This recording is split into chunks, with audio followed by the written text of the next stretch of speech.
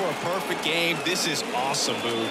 On the verge of baseball history here, and certainly one of the most dominating pitching performances we've seen. Everyone locked in right now.